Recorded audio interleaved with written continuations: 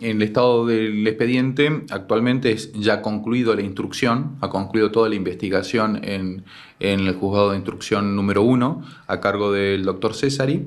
Em, por lo tanto, eh, ya estamos en la etapa de eh, formular el requerimiento de elevación a juicio, esto es la acusación que se realiza. Eh, yo represento a la querella, a la familia de Santiago. hemos formulado la acusación, este es este requerimiento de elevación, por lo tanto resta eh, conforme los plazos que la Fiscalía también formule eh, su requerimiento y en su caso, eh, una vez que esté todo aprobado, esto ya va a ser elevado a juicio oral. Eh, em, esta causa en particular tuvo varias, varias cuestiones allí porque eh, cuando se hizo el procesamiento de, de, Sopena, que es la, persona involucrada en esto, eh, la Cámara de Apelaciones como que había pedido más pruebas, ¿no? Que fue después cuando se hizo, bueno, esta, esta situación de, de, volver a ver los hechos o cómo habían sucedido, ¿no? Em, ¿Llevó más tiempo de lo que se esperaba?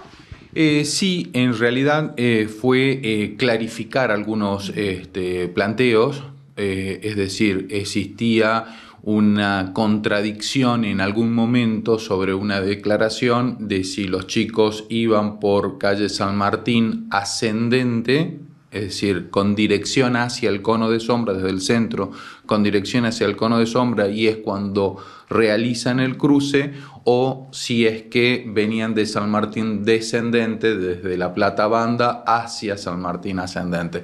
Fue una contradicción em, eh, producto de eh, una declaración, eh, pero de, una cuestión menor que fue zanjada con la inspección ocular en donde quedó claramente determinado y sin motivo de controversia de que los chicos iban hacia el cono de sombra. ¿sí? Y en el momento en que se disponen a cruzar la calle San Martín, llegando a la Plata Banda, donde está el cantero, es donde se produce el accidente. Esto ha quedado ya debidamente eh, clarificado. ¿no? Entonces, esa, esa prueba que se realizó estaba circunscripta a ese, a ese único elemento. Eh, todo este tiempo de, demora, bueno, me imagino de, presentar eh, diferentes pruebas y demás, bueno, cómo lo ha tomado la familia de, Santiago, entendiendo, bueno, que perdieron a su hijo y que van en búsqueda de justicia, ¿no?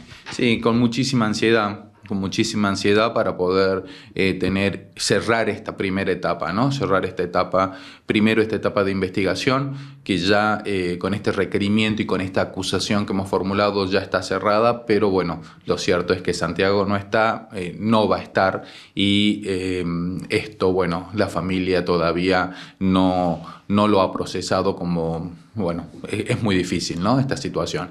Pero lo cierto es que ya hemos concluido toda esta toda esta investigación y estamos en condiciones de llevar esta causa a juicio oral.